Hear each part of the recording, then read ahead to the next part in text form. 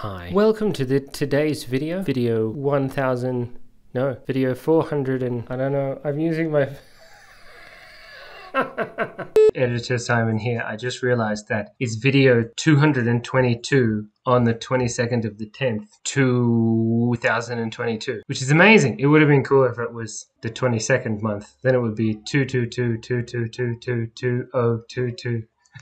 Anyway, back to our scheduled programming. So I sat down today and I was going to make a video where I ate some food and I drank some water and I took some Panadol and I stared directly into the camera and I said, I'm 100% healthy. And unfortunately, that didn't happen.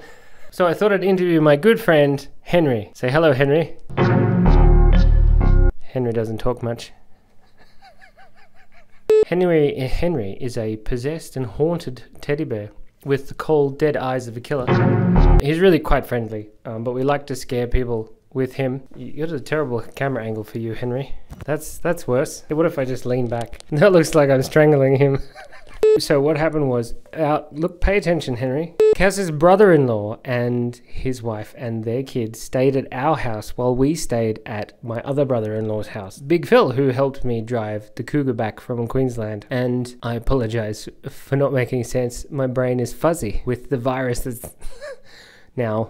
It's not the bad one that we all know and love. It's another one, and I don't know which one because the doctor said you may as well not get some nasal pharyngeal swabs because the treatment's the same.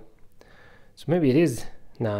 what was I talking about? My brother-in-law came to stay at our house and we hid this in our room, which is the room that they were standing in. But we hid it behind the door so that they can find it. And then they told us that they opened the door uh, behind, and it was funny because he was standing there staring at them in the dark, waiting to come out. Ooh, so happy Halloween uh, month from the possessed teddy bear named Henry. But thank you so much for all of your well wishes. I appreciate it so much. And stay healthy. And if you can't stay healthy, stay awesome. That's a new catchphrase. I like it. Be kind and be curious and stay awesome. And if you have a haunted teddy bear, just make the most of it. Be friends with the, the evil demon or spirit lurking within, and they too can become good friends with your brother in law and their wife and family. I must go now and see if I can procure some more pseudoephedrine hydrochloride. Not for the kiddies. Don't take too much of it. Um, uh, not uh, soon. I will be healthy. Thank you so much for watching. I appreciate all of the lovely words that you guys have sent. And if you are having a bad day, just remember that tomorrow is a new day and it's going to be different.